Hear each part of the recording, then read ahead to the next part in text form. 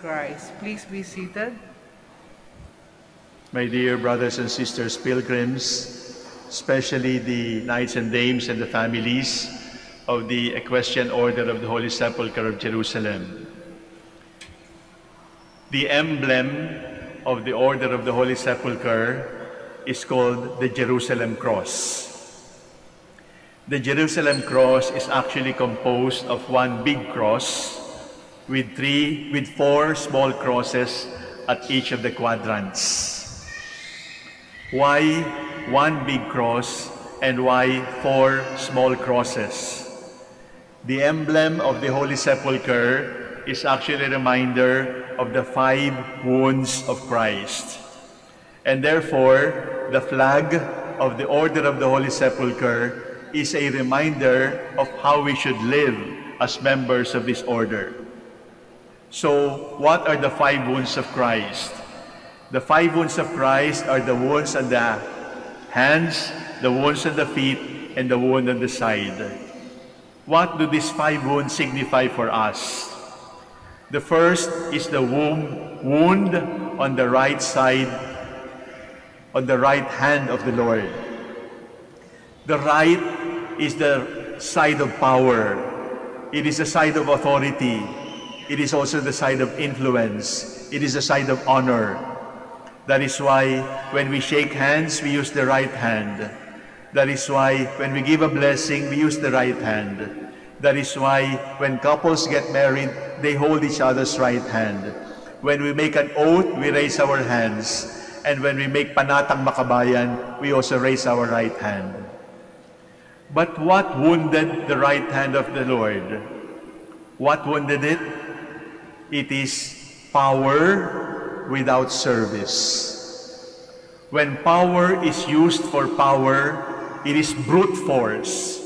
We must always remember that when God gives us power, it is always meant for service.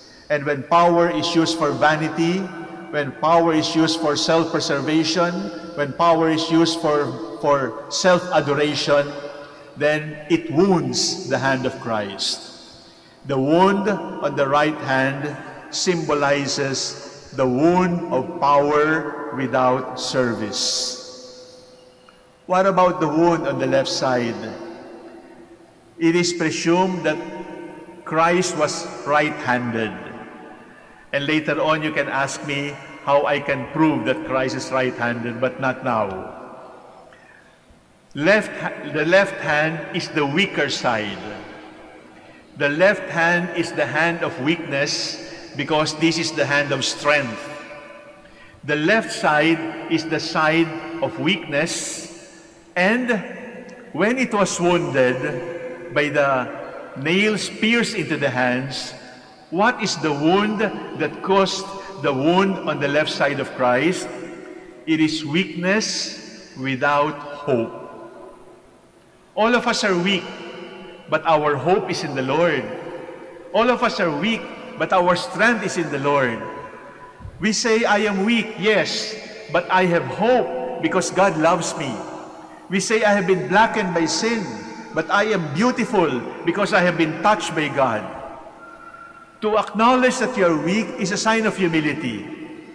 But to say that you are weak and you are destined for, for damnation is a sign of despair.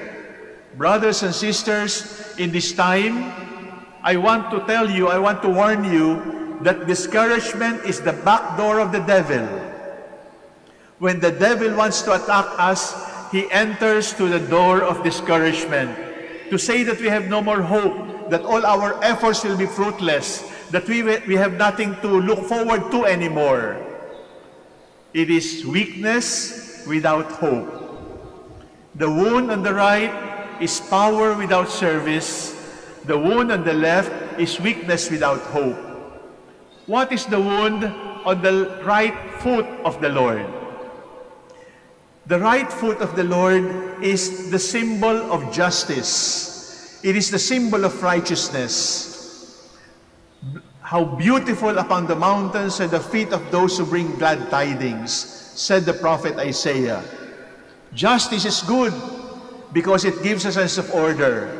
but justice without mercy is a wound. Justice and mercy complement each other.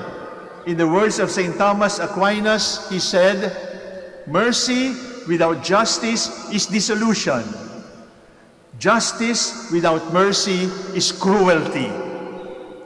We who follow the order of the Holy Sepulchre, we are called to walk the path of justice, the path of fairness. But let us keep in mind that the highest law is not justice.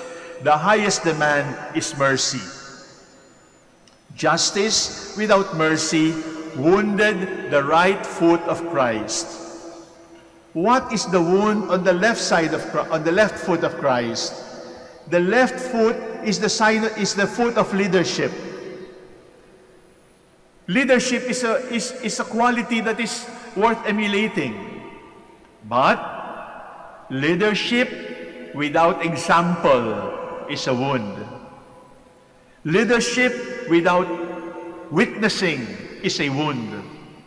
Because the best way to lead is by example. And St. Paul II rightly said, modern man does not listen to speakers anymore. Modern man listens to witnesses. Because if leaders are effective in the world today, it is because they have first been witnesses, examples of what they teach.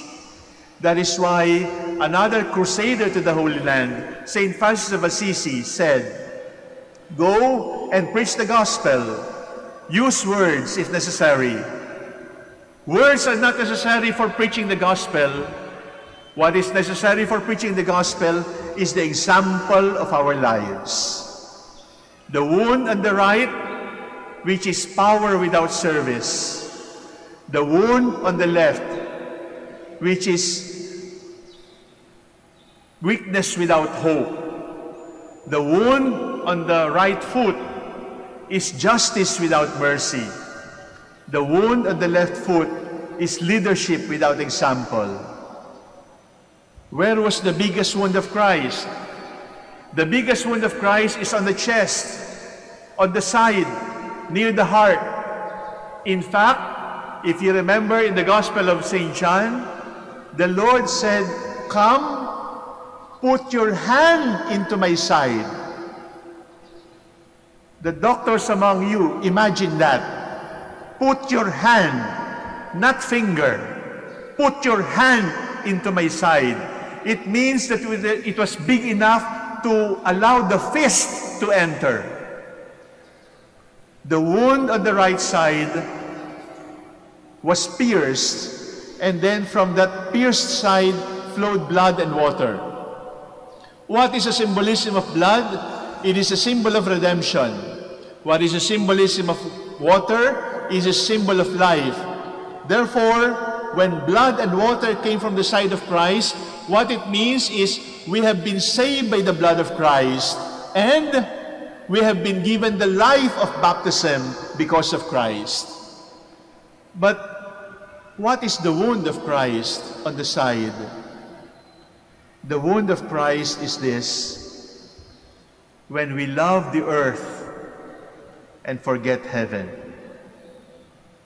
Earth without heaven is a wound. It is good to be healthy here on earth, but do not forget that you must be healthy after death. It is good to fix your hair but please make sure that your soul is more beautiful than your hair. It is good to exercise. It is good to maintain health. But please make sure that your soul is healthier than your body. Because if you live for 100 years here on earth, that is quite long. But 100 years is nothing compared to life everlasting. Earth without heaven materialism, to think that everything ends here on earth, is a wound. It is a wound that hurts the Lord. It is a wound that hurts the church. Power without service, weakness without hope, justice without mercy, leadership without example, earth without heaven, the five wounds of Christ. The five wounds that continue to hurt the body of the Lord.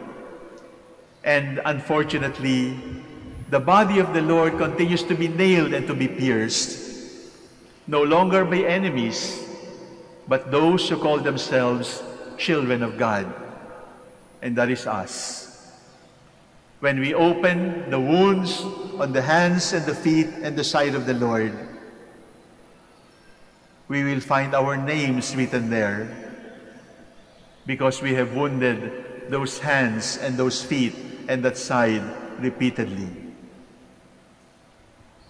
Let the wounds inspire us. Let the wounds challenge us. And let the wounds of Christ be our security, be our safety, be our salvation.